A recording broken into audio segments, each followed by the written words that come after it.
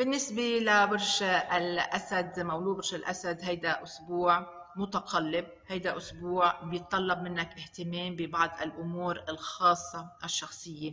بيطلب منك أنك تكون واعي وعقلك راجح لأنه الشمس بهذا الأسبوع موجودة ببرج ببرج العقرب يلي هو آه، بالنسبة لك آه، البيت العائلة الذات الوطن الجذور والنفسية أيضا.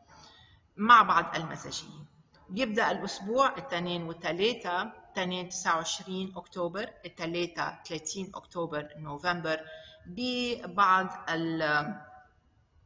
التراجع في آه، سير الأمور.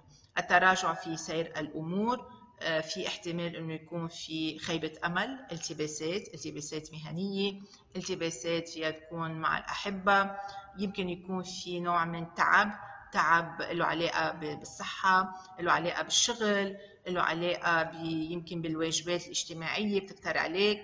في احتمال يكون في تأخير احتمال يكون في نوع من التباس وفوضى في السفر وفي المواعيد. آه، انتبه من الاحتيالات. يعني اثنين وثلاثة هن بصراحة من أقل أيام كل هيدا الشهر حظا فكون حذر جدا. انتبه من ما تضيع أغراضك آه، انتبه ما يصير في أخطاء كبيرة. الأربعاء والخميس القمر ببرجك يعني الأربعاء 31 أكتوبر عم تنهي شهر أكتوبر والقمر ببرجك أمر ممتاز. الخميس 1 نوفمبر عم تبدأ شهر نوفمبر والقمر ببرجك أمر ممتاز. هذا معناتها قادر إنك تعوض عن خسائر وتعب أو تراجع اثنين وثلاثة يومي الأربعاء والخميس. فإذا في مسائل بعدها عالقة إذا في مسائل بعد ما تمت في آه، آه، في آه، حظوظ كثير كبيرة نسبة نجاح كثير كبيرة بانتظارك الاربعاء والخميس. وهن أفضل يومين بهيدا الأسبوع وإنت فيك تعتمد عليهم لحتى تنطلق بمرحلة جديدة. هالمرحلة اللي علاقة بمسألة خاصة فيك في البيت في المنزل.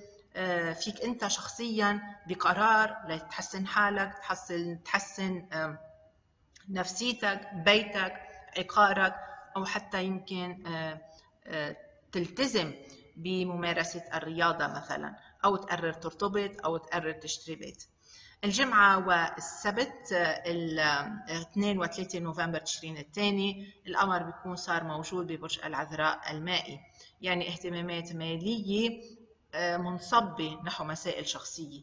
منشان هيك أنا قلت في احتمال يكون في مصاريف مصاريف عقارات مصاريف توظيفات مالية آه، مصاريف آه، طبية استشفائية لتهتم بحالك أو بأحد أفراد العائلة. يمكن عم بترمم بيت مبسوط ومرتاح. فقط خلي عينك على كثرة المصاريف. بالنسبة ليوم الأحد يلي هو 4 نوفمبر تشرين الثاني القمر بيكون صار موجود ببرج الميزان. وبالتالي مولود برج الأسد أنت شخص على موعد مع لقاء مع مواجهة يمكن مع حدا من الأخوة أو حدا من الأقارب أو حدا من الزملاء بتشتغل معه. عندك قدرة لحتى تدافع عن نفسك عندك قدرة لحتى تجاوب لحتى تناقش لحتى تطرح أفكار ولحتى أيضا تتخطى الأمور الغامضة توضحها أو تستوضحها. تملك قدرة مهمة جدا على الكلام على التعبير عن الذات وبتكون ناجح جدا. ما بيخاف عليك. الأكثر حظا في هذا الأسبوع هي 21 و 22 آب أغسطس. الأكثر توترا نسبيا هي 12 ل 16 آب أغسطس. يلي عنده ظرف إيجابي أو سلبي بهذا الأسبوع هي 23 تموز يوليو.